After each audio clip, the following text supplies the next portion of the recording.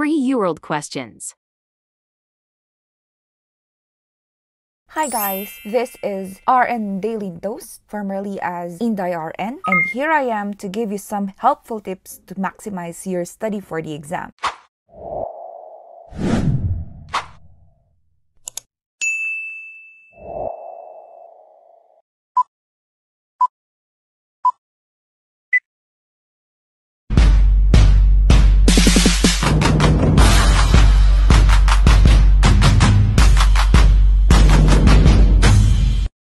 Before we're going to start, please don't forget to click like, comment, and subscribe on my channel, especially if you are new.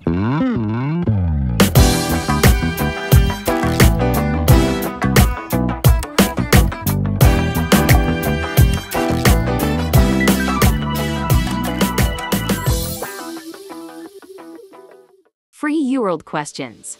The male client had a hemicolectomy. The client is refusing to wear the prescribed sequential compression devices SCDS. What is most important for the nurse to communicate to the client? 1. An appropriate form must be signed, verifying refusal. 2. Complications, including death, could result. 3. The client will be billed for the equipment regardless. 4. The surgeon will be informed of the refusal. The male client had a hemicolectomy. The client is refusing to wear the prescribed sequential compression devices SCDS. What is most important for the nurse to communicate to the client? Answer 2. Complications, including death, could result. Explanation Just as there is informed consent, there is informed refusal. The client should be made aware of all the possible complications, including the possible worst case scenario which is usually death when making a decision, and this should be documented. The nurse should try to work with the client to get at least partial compliance when it is in the client's best interest. A. Wear the SCDS for a limited time. Option 1 This would occur, but it is more important to make the client aware of the potential implications of this refusal so that the client can make an informed refusal. Option 3 Safe. Quality care is the priority not financial concerns. The nurse should avoid discussing financial implications when a client is making care decisions. Option 4 Depending on the hospital policy, a refusal to wear the SCDS could result in an additional form being completed and the refusal documented in the medical record. Documentation should include the information given to the client and the client's understanding of that information. Even if the client refuses to sign the form, the nurse should obtain other witnesses and document the refusal in detail in the medical record. Educational objective The most important aspect of a client's refusal for treatment is to make sure that the client is informed of the potential results of the refusal. The nurse is caring for a client who develops Clostridium difficile colitis after multiple days of antibiotic therapy. Which infection control measures are appropriate to implement? Select all that apply. 1. Disinfect surfaces with diluted bleach solution. 2. Hand hygiene with alcohol-based hand rub. 3. Wear a face mask. 4. Wear a protective gown. 5. Wear non-sterile gloves the nurse is caring for a client who develops Clostridium difficile colitis after multiple days of antibiotic therapy. Which infection control measures are appropriate to implement?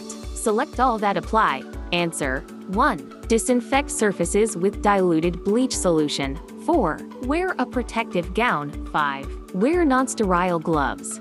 Explanation C. difficile poses a unique hazard in healthcare settings. This infection of the colon may develop or spread through contact with the organism or after prolonged antibiotic therapy alters normal bowel flora, allowing for C. difficile overgrowth. Clients with C. difficile infection should be placed on strict contact precautions in private rooms.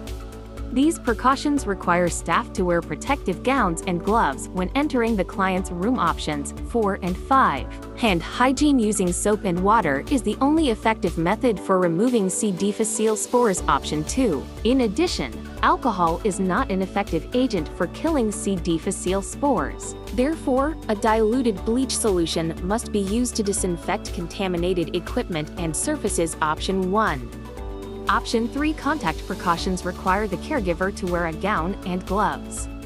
A face mask must be worn as personal protective equipment if an organism is spread via droplets. However, it is not required to prevent the spread of a contact transmissible infection.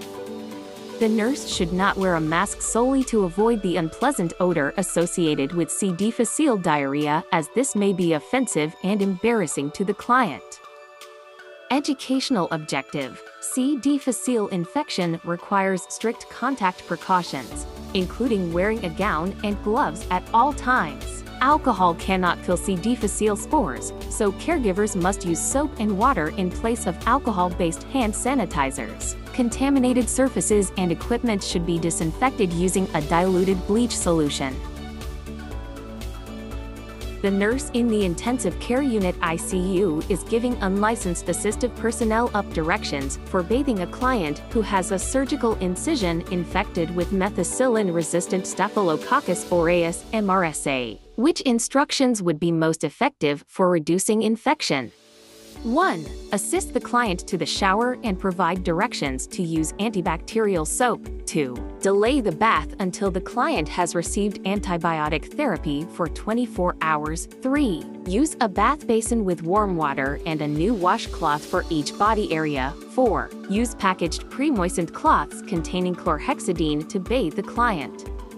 The nurse in the intensive care unit ICU is giving unlicensed assistive personnel UAP directions for bathing a client who has a surgical incision infected with methicillin-resistant Staphylococcus aureus MRSA. Which instructions would be most effective for reducing infection? Answers 4. Use packaged pre-moistened cloths containing chlorhexidine to bathe the client.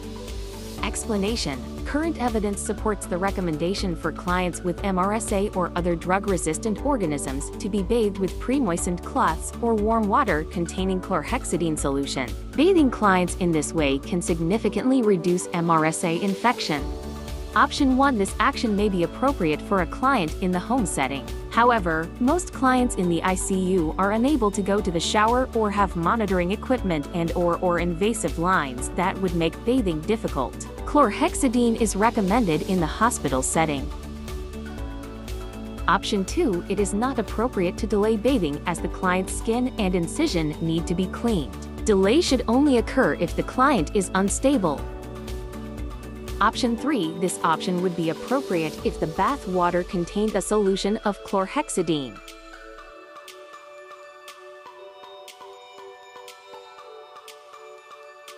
Educational objective Pre-moistened cloths or warm water with a chlorhexidine solution should be used when bathing clients infected with MRSA or other drug-resistant organisms.